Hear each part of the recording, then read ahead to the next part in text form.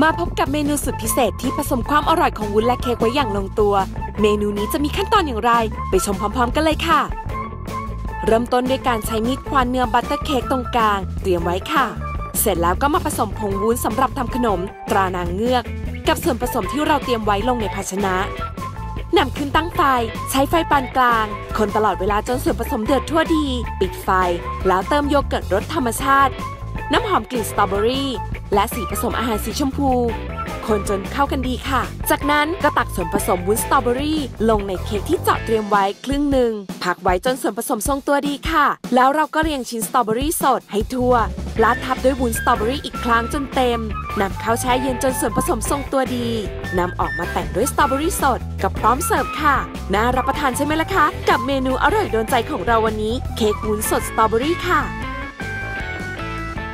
Baking Story เมนูแรกของเราสองคนจะมาทำช็อกโกแลตกันค่ะ เป็น ombre ช็อกโกแลตมูส เราเลือกใช้ช็อกโกแลต 2 สีมาผสมกันค่ะ และแน่นอนค่ะ เคล็ดลับความอร่อยของเราสองคนวันนี้ก็ต้องใช้ช็อกโกแลตคุณภาพดี และผงโกโก้คุณภาพดีตราทิวลิปแบบนี้ค่ะ วันนี้เราเลือกใช้ผงโกโก้ชนิดสีเข้ม เวลาทำขนมออกมาเสร็จแล้วขนมเราก็จะสีสวยรสชาติอร่อยค่ะ 30 กรัมนะ ใช่ โอเค โอเค เสร็จแล้วเราก็โกโก้ผงผสมกับแป้งผงฟูวานิลาเกลือก่อน จากนั้นเราก็ใช้โกโก้ผงผแป้งอเนกประสสมงค์กับแป้งอเนกประสงค์นะคะ เกลือป่นวานิลาผง และผงฟูค่ะ จากนั้นคนผสมส่วนผสมทั้งหมดให้เข้ากัน เพื่อให้โกโก้ของเราเนี่ยเข้ากันกับแป้งของเราทุกส่วน เนื้อเค้กของเราเข้มข้นมากเลย เพราะวันนี้เราใส่ช็อกโกแลตดำลงไปด้วยหรือ dark chocolate compound ตราทิวลิปนั่นเองค่ะโอเคร้อยเรากรัมใช้เนอะ100กรัมเนาะอืมช็อกโกแลตคุณภาพเยี่ยมแพ็กเกจเขาดีมาก สามารถเก็บใช้ได้ตลอด โอเค โอเค อะ100กรัมนะจ๊ะ หั่นแล้วละลายใช่ไหมคะ ใช่ค่ะ ละลายกับนมนะ โอเคได้ค่ะช็อกโกแลตของเราเรียบร้อยแล้ว ผสมกับส่วนผสมนมข้นจืดของเรานะคะ ใส่ลงไป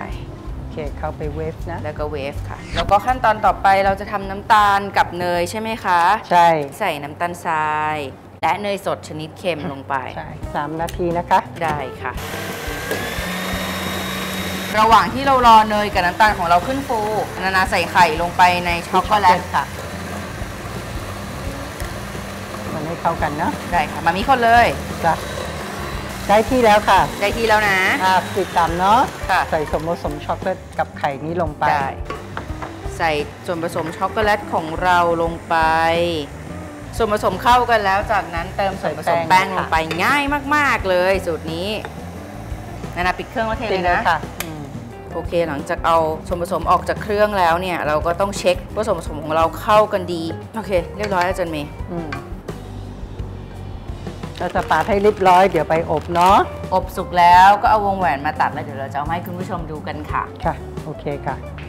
โอเคไปอบนะคะอะ ได้อืมโอเค หลังจากเอาเค้กออกจากเตาอบแล้ว เราจะเอาพิมพ์วงแหวนของเราใส่แบบนี้นะคะ เพื่อที่จะได้ให้มูสของเราเนี่ยอยู่ข้างบนตรงนี้นะ โอเค ขั้นตอนต่อไปเราจะมาทำมูสกัน สูตรมูสของเราวันนี้ง่าย ๆ ใส่นมข้นจืดลงไป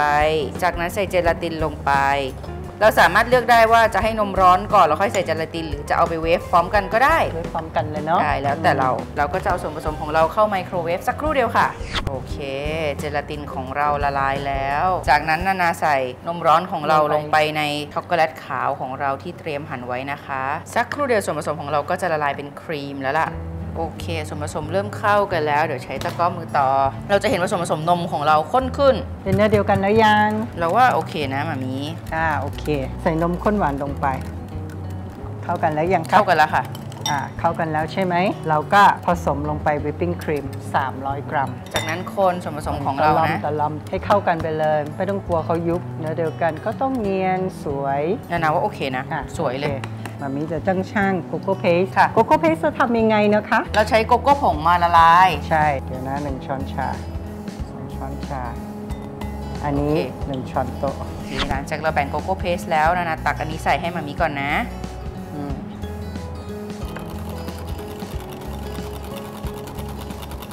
โอเคนานาเทส่วนผสมของมูสสีขาวลงไปก่อนนะอืม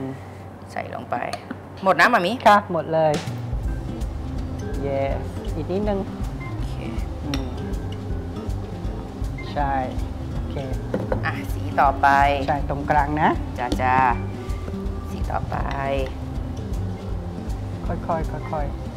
ๆโอเค the last โอเค color สีสุดท้ายเข้มที่สุดตรงกลางนะ ค่อยโอเค จากนั้นนำส่วนผสมมูสของเราเข้าตู้เย็นจนกระทั่งเซ็ตตัวแล้วออกมาเสิร์ฟกันค่ะ เรียบร้อยแล้วกับเมนูของเราสองคนวันนี้ ombre ช็อกโกแลตมูสเค้กค่ะ นี่ขนมอร่อยคุณภาพดีด้วยผลิตภัณฑ์คุณภาพตราทิวลิปจ้ะ ช่วงหน้าเบเกอรี่เวิร์กช็อปยังคงมีอีกหนึ่งเมนูมูสมาฝากคุณผู้ชมกันติดตามชมสักครู่เดียวค่ะ